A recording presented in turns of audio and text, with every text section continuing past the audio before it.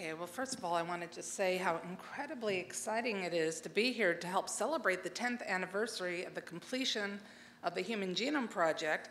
And I'm here to tell you a bit about how that's impacted my research personally, which is focused on human evolutionary genomics.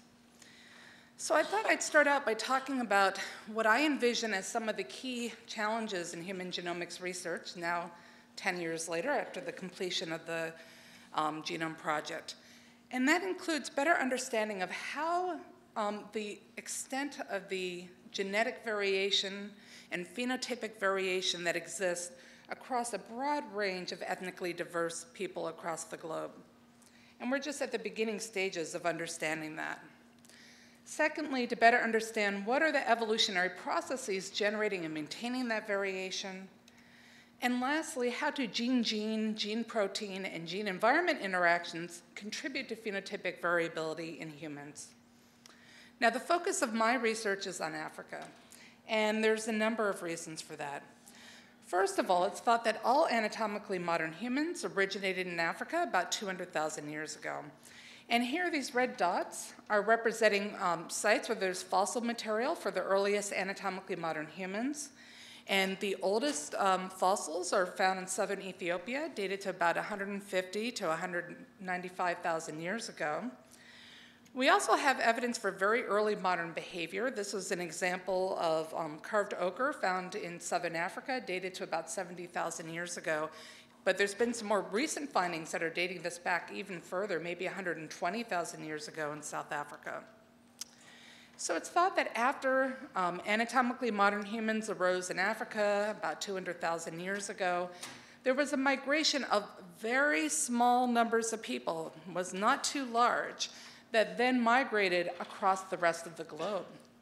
And so because it was a small number or groups of people leaving, you can imagine that outside of Africa, there tends to be a subset of the genetic variation present in Africa Although, of course, since this was approximately 50 to 100,000 years ago, there's been time for genetic variation to accumulate in other regions as well. So the pattern of genetic variation that we see today is going to be a reflection of our evolutionary and demographic history. If we were to look at identical twins, we don't see any differences.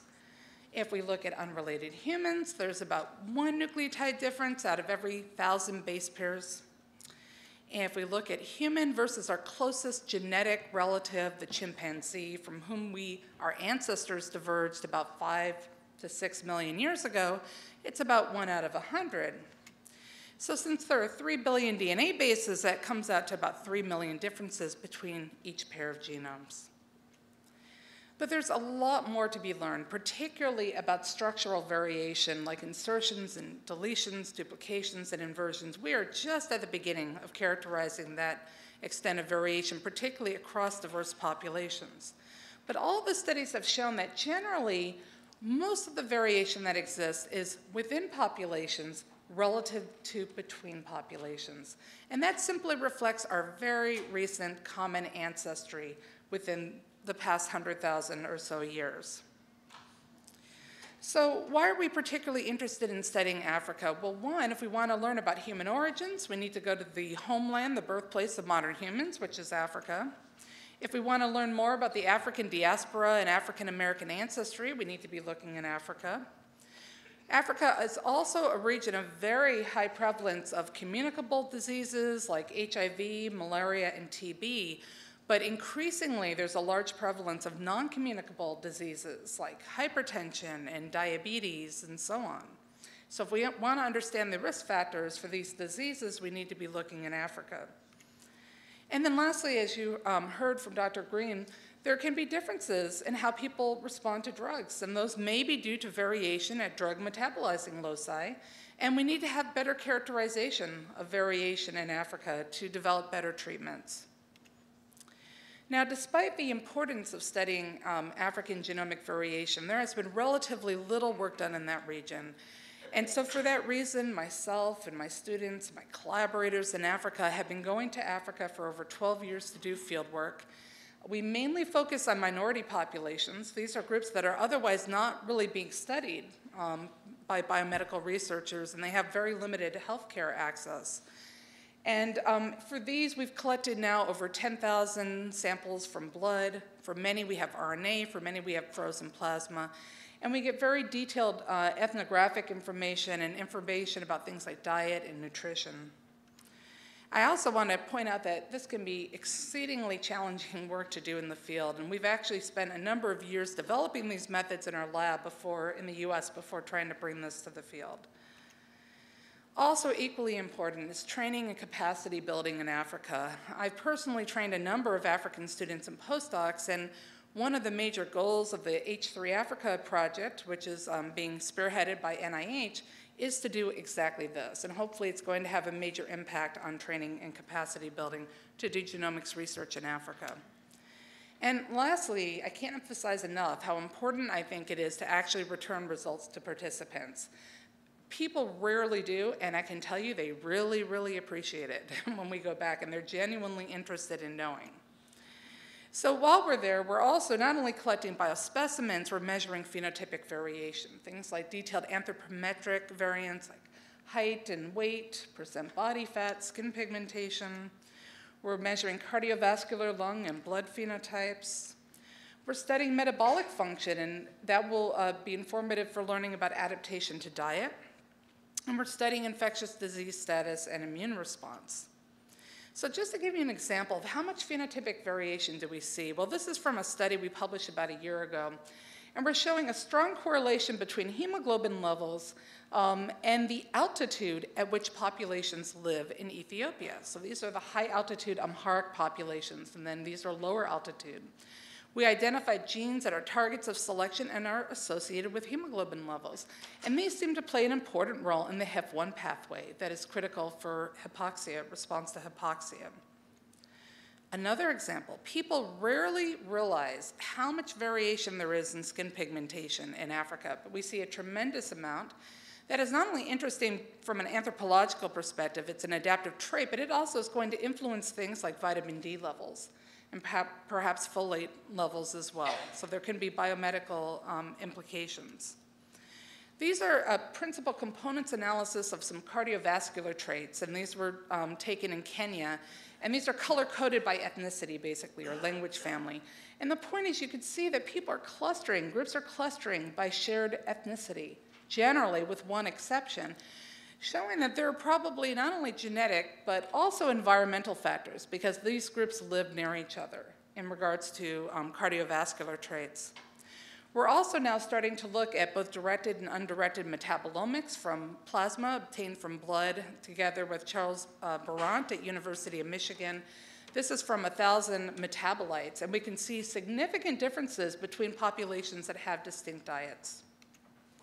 So I want to tell you a bit about our study published a few years ago in which we characterize a broad range of genomic variable sites across the genome in over 2,500 Africans from 121 ethnic groups and in 98 African Americans from four regions of the US. And then we had a comparative data set of more than 1,500 non-Africans.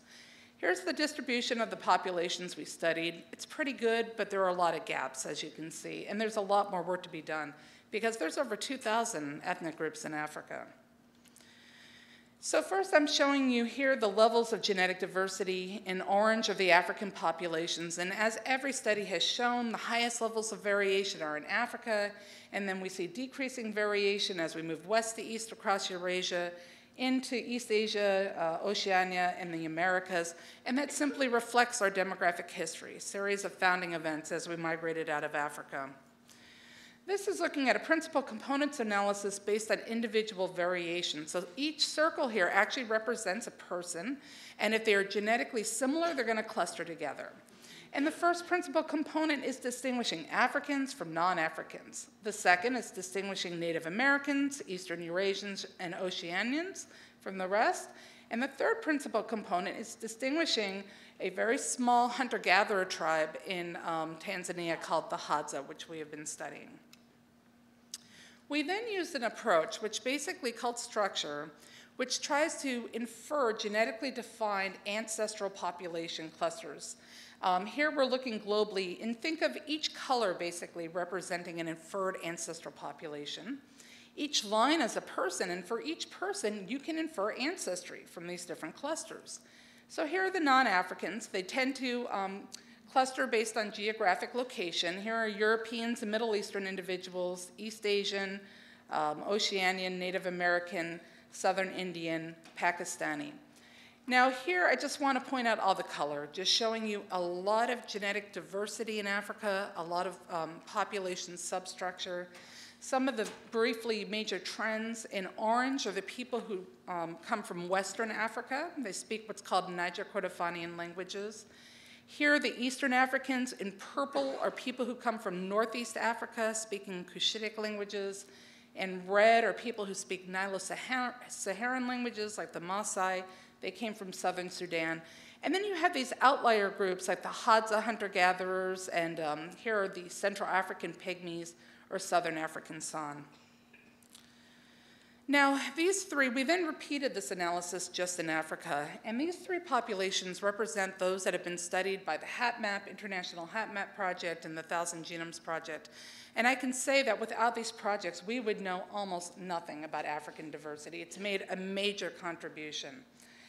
But as you can see, it represents just a fraction of the variation present in Africa.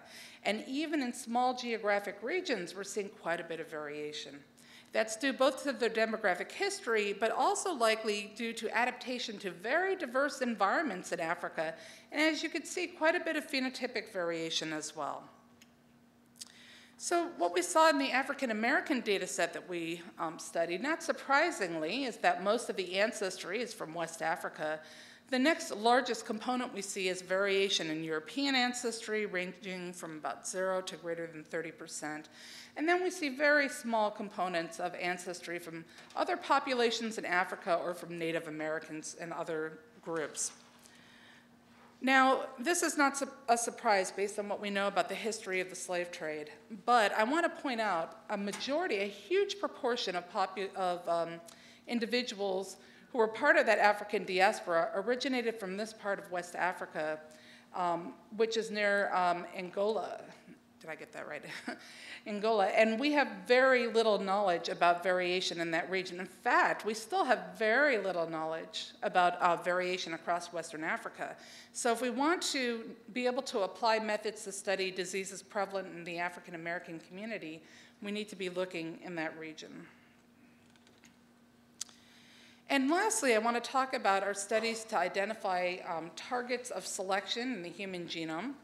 And these are important because it's thought that mutations associated with disease in modern populations, common diseases, may have been selectively advantageous in the past. So for example, hypertension and diabetes, obesity, and asthma. So here's just a set of some of the populations we've studied, and they have very different diets, like hunter-gatherers, pastoralists, and agriculturalists. They um, have live in very diverse climates, and they have very different infectious disease exposure. So likely they've undergone local adaptation. So the first example I'm going to tell you about is our study of the evolution of lactose tolerance in East Africa. It's known that in people who can digest milk as adults, they have um, expression of the enzyme lactase phlorizin hydrolase, or lactase, expressed in the small intestine. It can break down the complex sugar lactose into glucose and galactose taken up in the blood. But in the, most mammals, in the majority of the world, this enzyme is shut down shortly after weaning. And then they're not, we're not able, people who um, have this enzyme shut down, if they drink milk as adults, they can't digest this. And it can cause severe intestinal distress.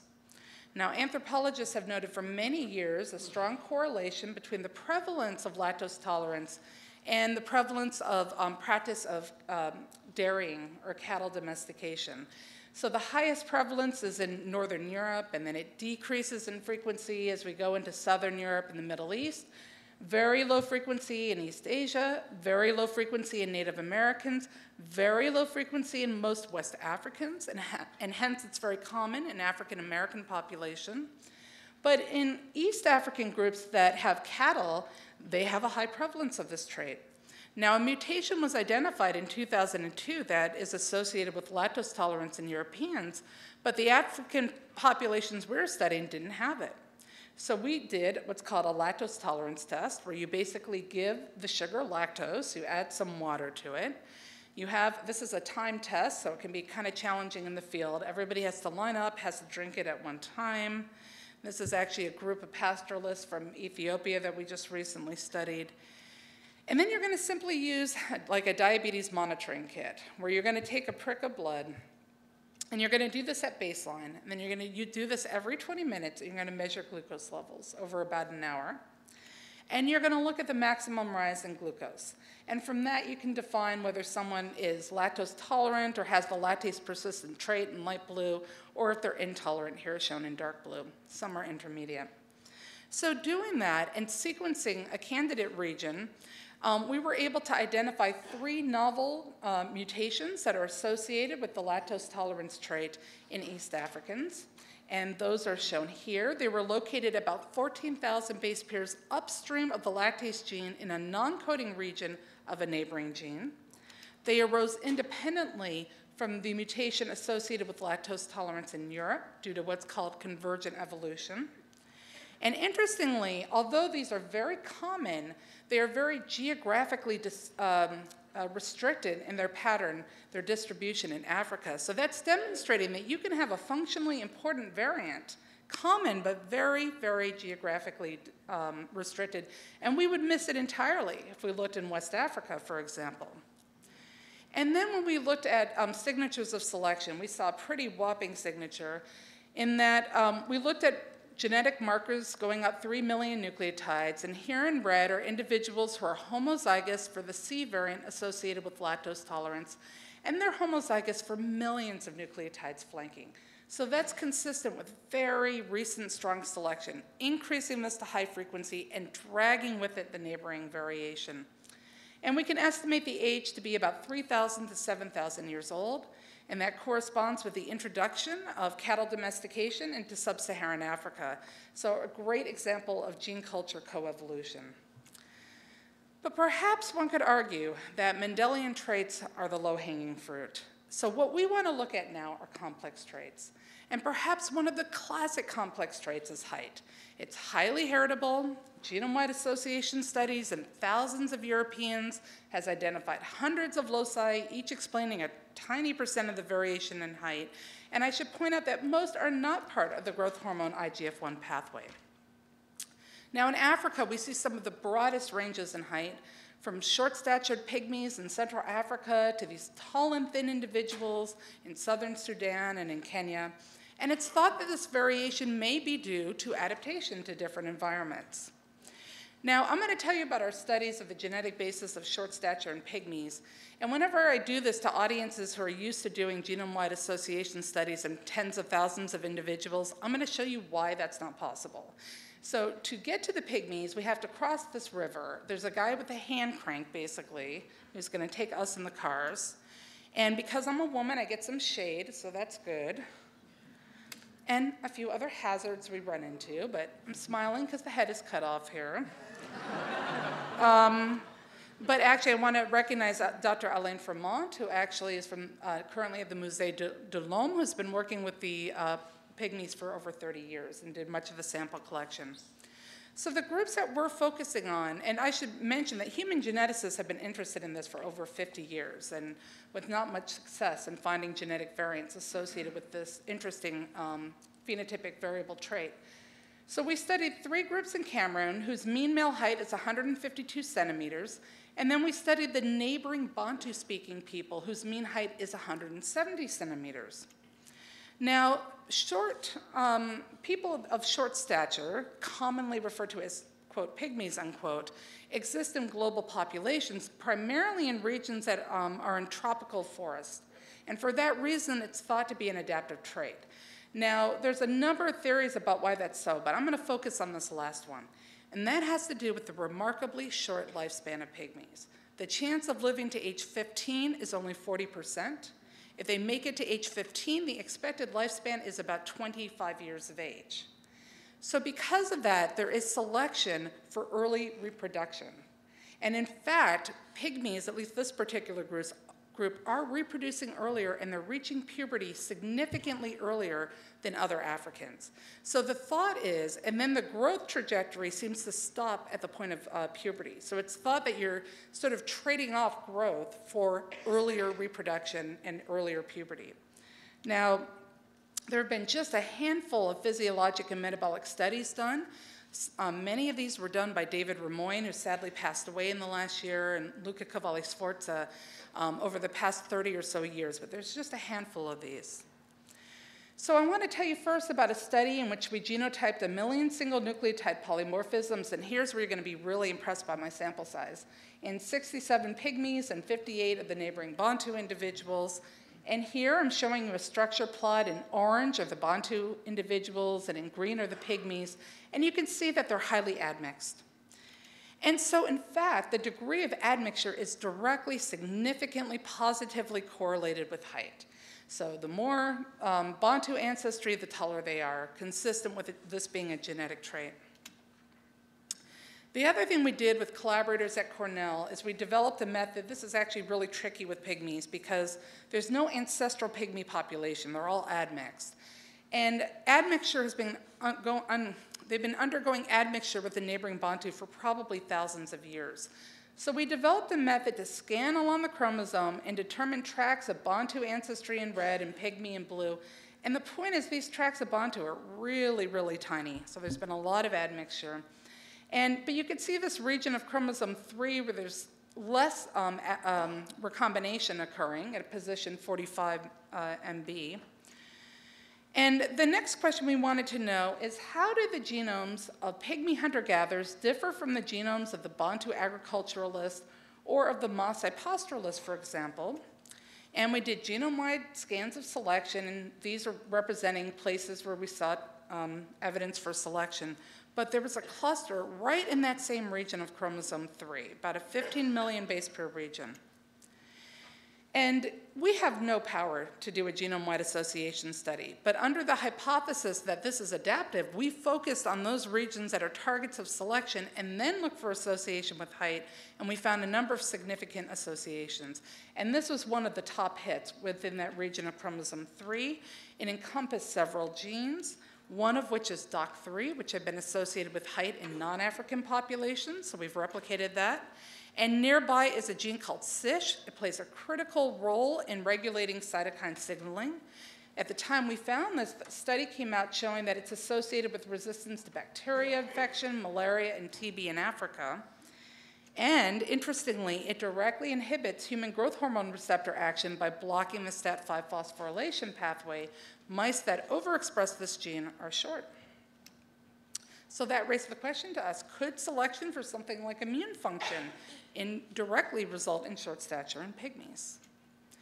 The last thing I want to tell you about is a recent paper we published in Cell in which we sequenced, we did high coverage um, whole genome sequencing using complete genomics technology in 15 diverse hunter-gatherers, including five pygmies and then five each from two hunter-gatherer groups in Tanzania.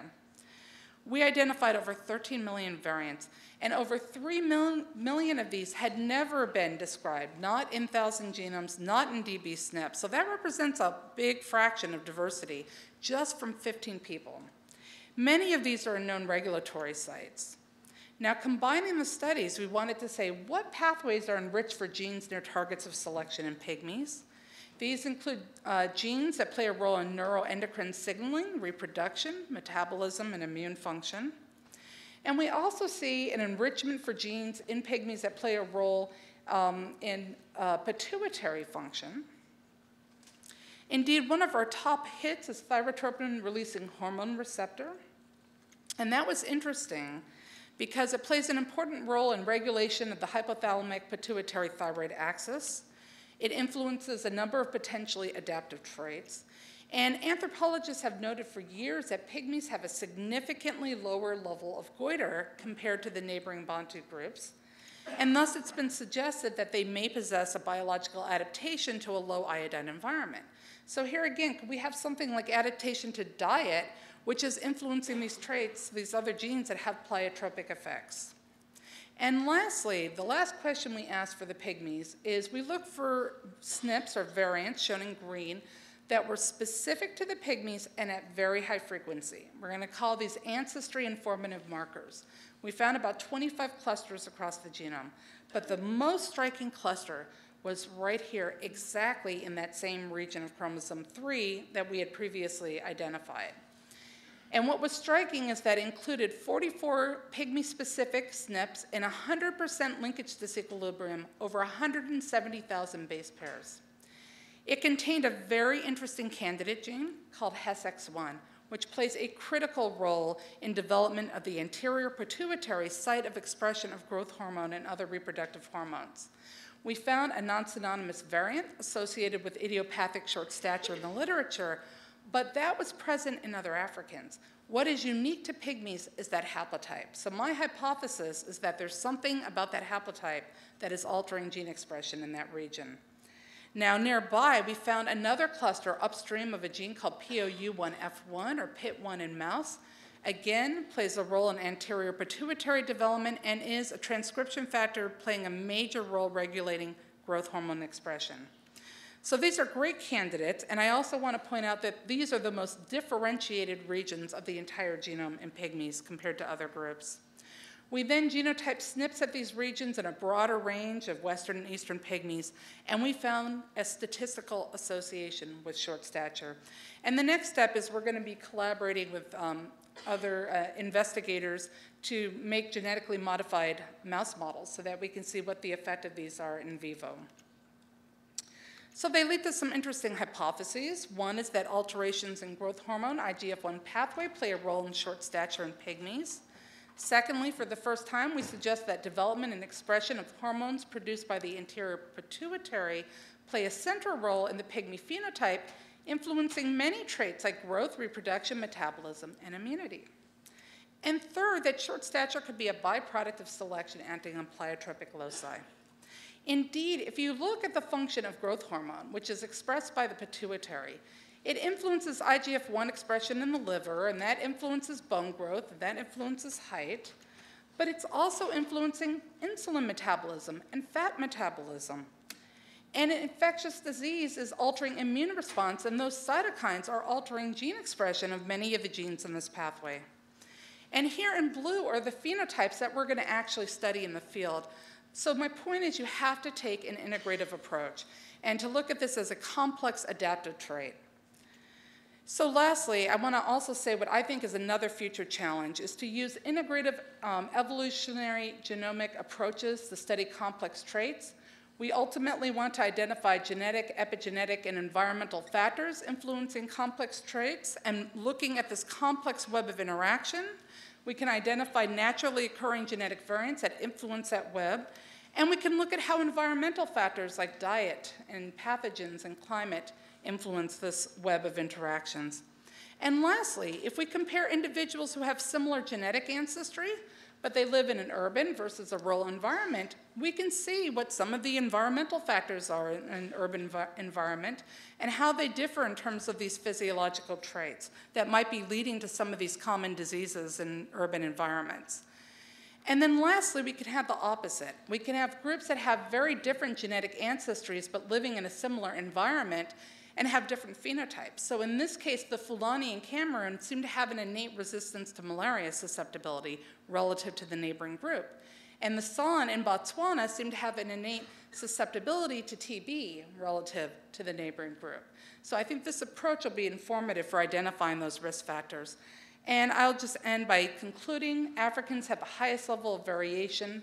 The demographic demographic history of Africans and local adaptation to diverse environments has resulted in population and region, regional specific genetic variation, and there's an urgent need to include ethnically diverse Africans in genomic studies to identify both unique rare and common variants which may be of functional significance, including those associated with disease risk. And I will just thank the many, many people who contributed to the study and the funding agencies, and most importantly, the many Africans who contributed. And if there's any time, I'm happy to answer any questions.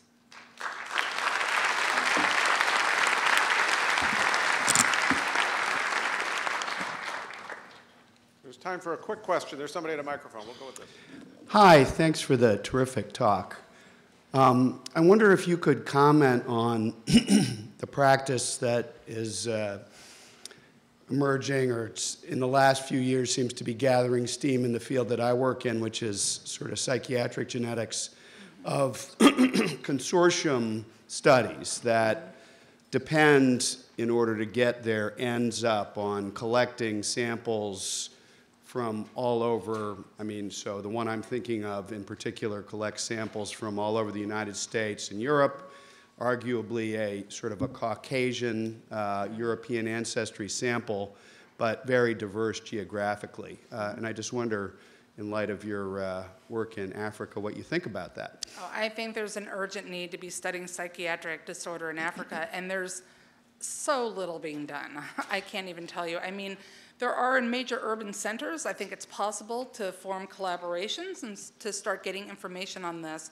But certainly in the more rural areas, no information. I mean, you just, you don't hear about it, it's not being cared for, not being, they're being cared for locally usually in the village. So I think that's really important, and we should be looking throughout Africa and forming consortiums. Can I answer the Yeah, one one other? more. Yep. Okay. Right.